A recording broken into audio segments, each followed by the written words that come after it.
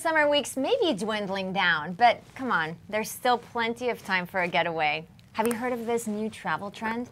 It's called the Seekender, what experts are calling people who want to plan fun, interesting, and spontaneous getaways. Sounds pretty good, huh? Ooh, yeah, I love spontaneous. So let's help you plan the perfect Seekender trip with Kristen Hewitt, two-time Emmy Award-winning reporter and blogger. Thanks for having me, Ebony.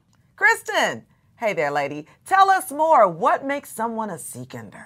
That's the million dollar question, right? Uh, a recent travel trend study showed that a Seekender is someone who really craves adventure on the weekends. They want to explore and create new experiences, and travel is at the top of their list. In fact, 85% of Americans surveyed said having those personal connections and sharing those experiences is more important to them than anything of monetary value. So start planning your next weekend adventure now.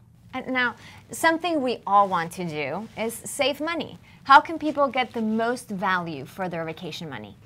You know, we always look for value over price. When you go on vacation for just a couple of days, you want to get the most for your money, and the cheapest hotel room might not always be your best option. So I always tell people to look for hotels that have great amenities, things that are important to you, like a great pool, or a free Wi Fi, or a gym, or free breakfast. And a Hampton by Hilton, for example, they have over 2,000 properties globally, but they have all of these things. They have the hot and fresh breakfast, they have the on the go breakfast bags. They have free Wi-Fi. They have super comfortable beds and 100% satisfaction guarantee. So for a family of four, uh, this is something we really look for and something that's of great value to us. We want all the comforts of home when we go on vacation. Okay, you also have a blog called Mommy in Sports. What are your top suggestions for someone who wants to take the kids with them on a weekend getaway?